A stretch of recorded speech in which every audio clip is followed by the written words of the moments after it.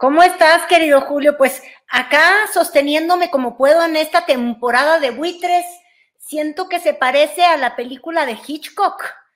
Toda la carne, digo, toda la clase política buscando la sangre, la carne, sacar raja, este, los damnificados, ¿qué?